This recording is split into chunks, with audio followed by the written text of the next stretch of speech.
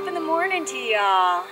Catherine here, ready to set out on another adventure with my good friend, one of my besties, Julie. Good morning, everyone. Y'all know her. Good morning. We are here uh, getting ready to head out on the Cottonwood Pass Trail. That is just outside of Lone Pine in and near the Mount Whitney Range. We will be entering into the Golden Trout Wilderness, traversing over Cottonwood Pass, which um, right now we're at a starting elevation of around a little over 10,000 feet. So the top of the pass will be over 11,000 feet. We'll uh, head down the pass and we'll be on the Pacific Crest Trail for a short bit and we will be camping at Chicken Spring Lake. This is just an overnight trip. Unfortunately, we are experiencing a lot of smoke uh, from the Ferguson fire up in Yosemite. It was very bad down in the valley below and so bad that we We actually thought about not coming up. yeah, we thought about canceling the trip because we could not see the Sierra Mountain Range that we were right next to. Um, however, up here, it's a little bit clearer. We can see some blue sky back here. We have better visibility. Uh, we were told by the ranger it was better up here, so we decided to go for it. We're excited, just excited to be out here for a backpacking adventure and glad to bring you guys along with us. So let's go.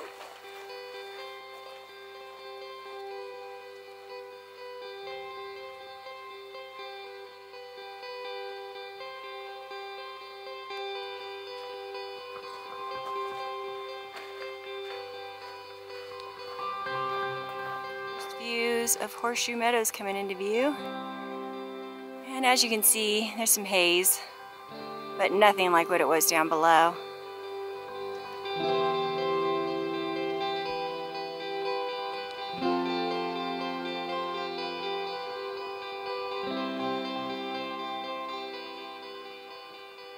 Well, we've only got about 0.7 miles, but this is what the trail's looking like. It's very sandy. So far, just a pleasant, easy hike, but we haven't, we're just starting to ascend, you know, at a very gradual grade. We have not started up our switchbacks yet, but just enjoying it. We're really happy that we got to get out here and uh, do this, um, considering that we were thinking about canceling.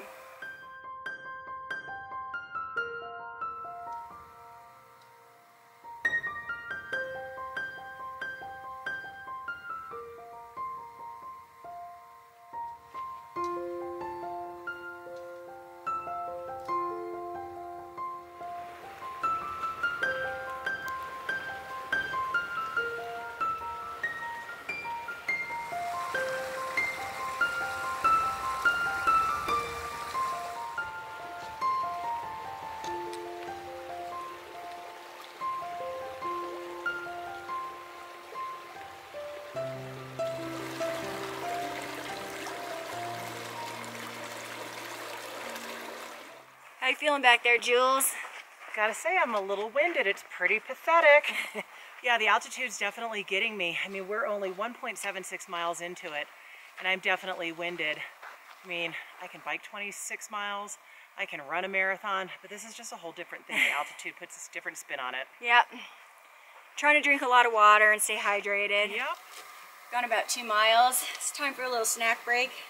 My favorite Tex-Mex uh, trail mix. What do you got there, Julie? Trail crack, uh, which, basically anything that has chocolate is trail crack as far as I'm concerned. Peanuts, M&Ms, chocolate, and um, peanut butter chunks. And I just realized I com committed a major faux pas.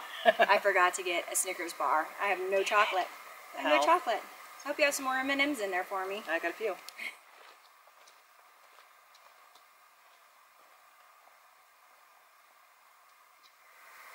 The pass is somewhere back there. We are starting to ascend and definitely feeling the elevation. So having to stop quite a bit and take, you know, some breaths and just uh, get the heart rate down a little bit. Yeah, soon we'll be uh, traversing the switchbacks and like I said, somewhere around a thousand feet.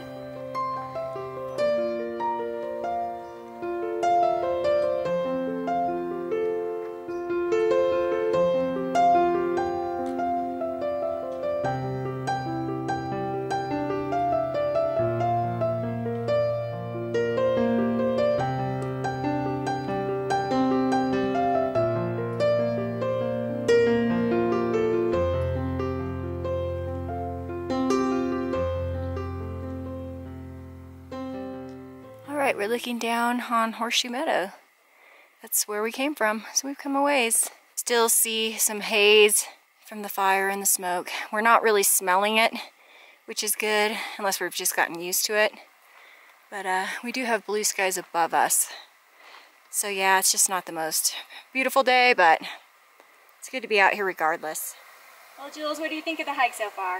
So far, so good. It's, um, think I say this in every single video, the altitude just kicks my butt. I mean, it just, it really does.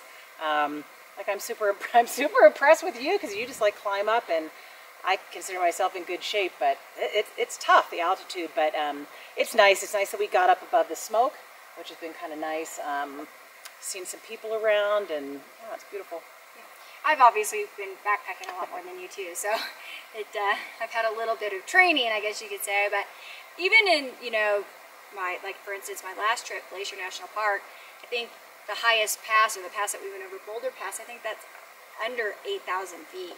So we started this hike at 10, and then once we're at the top of the pass, like I said, we'll be over 11, so I mean, nice don't little... don't keep, don't beat yourself up. Just I know. try not. I try not to. It just it's interesting how uh, different sports and different activities can completely take it out of you in different ways. Yeah, so like it's, it's humbling. It's always humbling. Well, like I you know, we were talking about earlier. You know, she can kick my butt in running and uh, cycling. So I can't do what she does. So you know, to each their own. Yeah, exactly. It's awesome. Thank you for coming.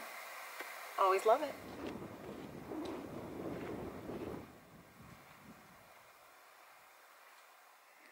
Another good shot of Horseshoe Meadow. Be better without the haze, but...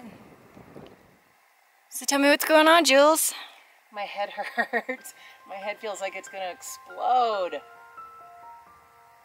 Like I said, this is just super humbling. I'm really trying not to beat myself up about it, but um, yeah, the elevation's kicking my ass, to be really honest with you. So I'm just trying to take it easy and rest up and I think we can see it up there, so I don't think we're too far. Yep, I think we're really close. So, yeah. You almost got this, girlfriend. Yeah. So. Proud of you. Thanks. Thanks for being patient with me. Absolutely. Absolutely. So I believe in the distance there, if you can make it out through the haze, that's a little bit of uh, the Great Western Divide, I believe, in the back. We made it to the top. You made it, Jules. I made it. The whole time up, I was telling Catherine, I don't know how the family Von Trapp did what they did. So high five to them. I feel like the biggest wimp alive, but I feel accomplished nonetheless, so yay me. We made it to the top. So here is the juncture to where we actually head over to Chicken Spring Lake. If you go south, you will be um, on the, PC, the trail pass PCT South. And now we're actually, um, we're gonna take the Rock Creek PCT North. So we're gonna go that ways and we will be on the PCT for a while. And if you didn't know, Chicken Spring Lake is a, is a pretty popular spot for overnight camping for PCT through hikers. So I don't think we'll see any there right now because I think it's they have to be well past this point if they're going to make it to Canada, but you never know. Off we go! Under the impression we were only going downhill after, but apparently not. But we are traversing through these beautiful foxtail pines. Really awesome looking.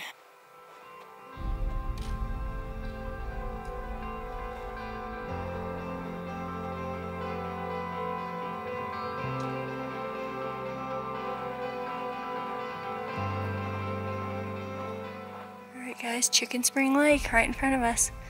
We are here. Yes, this is gonna be home for the night. Looks like a nice spot to me.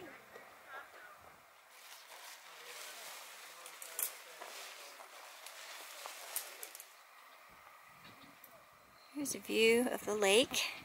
This is right in front of our camp. There are other campers nearby. We don't have the place to ourselves by any means. Rethink the salami and cheese.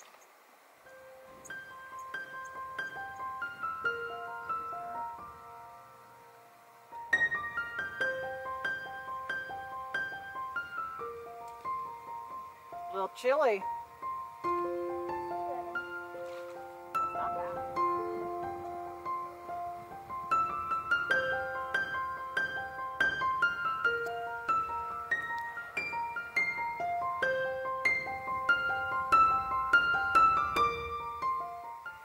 Enjoyed some snacks down by the water. I got in a little bit. it was kind of chilly, very cold. Um, we were both thinking about taking a dip, but I don't think that's gonna happen. It's just a little too cold, and with the wind, the wind gusts every once in a while, it'll probably be freezing our butts off.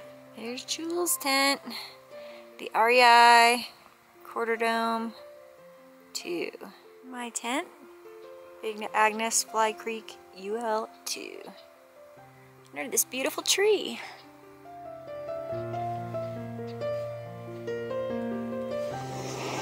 Got camp all set up, laid and relaxed by the lake for a while, and now it's dinner time. I didn't put much thought into my meals this time. it was a very busy week before I got here, so I'm I'm lucky I got here, to be honest with you. So ramen it is. What do you have, Jules? Wow, I don't know. Hang on. Um, ramen. I'm a hot mess this entire trip. I'm a hot mess. I think we're both kind of out of it, but We're uh, both kind of out of it, but I don't know. It's better than being back home for a little bit. It's a nice change. absolutely. It's a little chilly after that sun goes down, huh? I mean, if the sun goes down, it's get that shirt on. Yeah, absolutely. So uh, tell me what you thought about today. Yeah, so I listen, anytime for me anyway, that you can put on the backpack and get up here, I think that's super cool. It was a gorgeous day. Yeah, and for me, you know, this was a hike that I've never done before, and I was just kind of looking for options. Um, I had a really easy option. There weren't a lot of permits available. It's a height of backpacking season.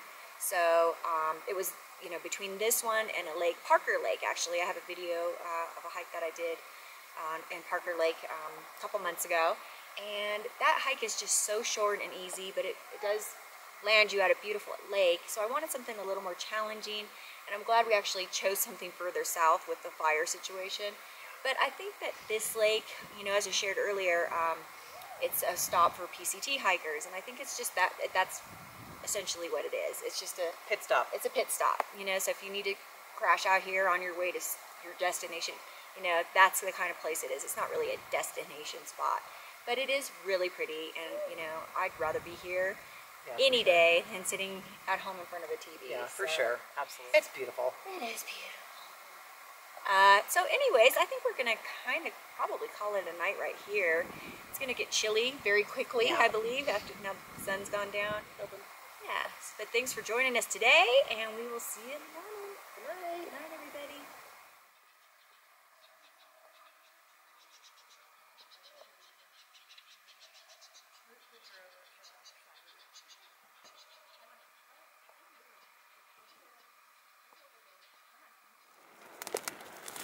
11, 11 p.m. I know you guys can't see anything, but at 10 p.m. the wind picked up something fierce. Here it comes.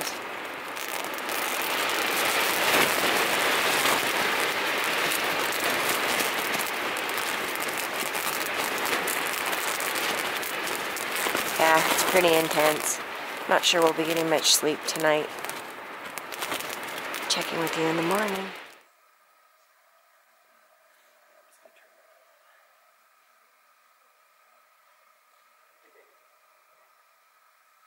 Last night, all of the stakes came unstaked.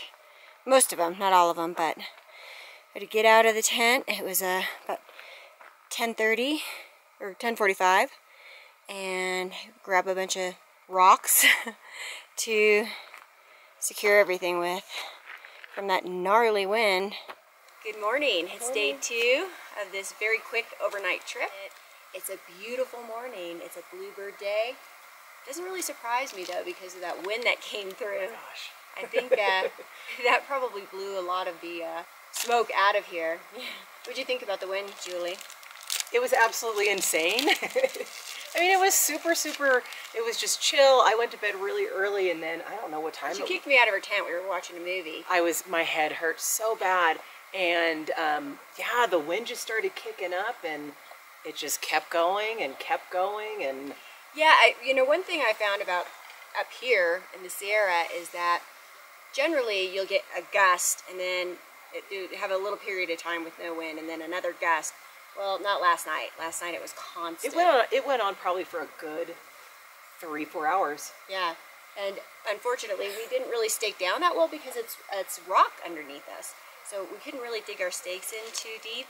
Um, so they were all coming, you know, being pulled out. My tent was completely upside down. Yeah, so we just we had to get up and you know basically try to find whatever heavy boulders we could find and just kind of lay those on top. And after that, like my tent, my tent actually was caving in on me. Yeah. just caving in on me. And so once we got up and got everything resecured, I was good. I mean, it was still loud. It took a long time to fall Yeah. asleep. You know, it was actually a very nice trip. I don't want to sound too negative, but it's just um, there. It's a popular spot, so there were a lot of people here. So unfortunately, that uh, created a little bit of a problem.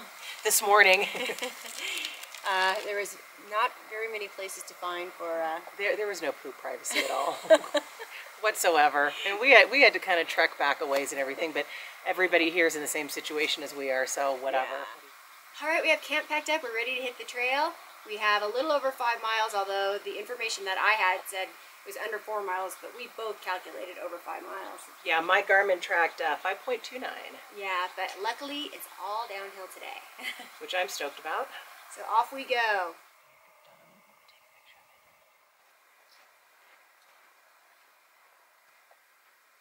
Much clearer morning. I wanted to shoot this over again so you guys can see. I believe that's a great western divide.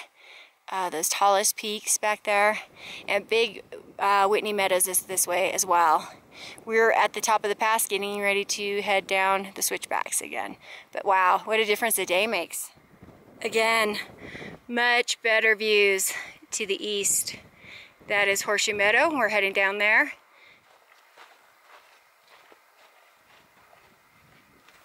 All right, we made it back to the car.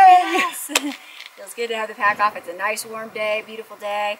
Thank you so much for joining me on another adventure. And, you know, I'm always stoked to hang out with Julie. It's always a great time with her. So thanks for coming along. Thanks for the invite. It's always good to get out of Dodge and uh, challenge myself. Absolutely. Thank you. Peace out. Bye.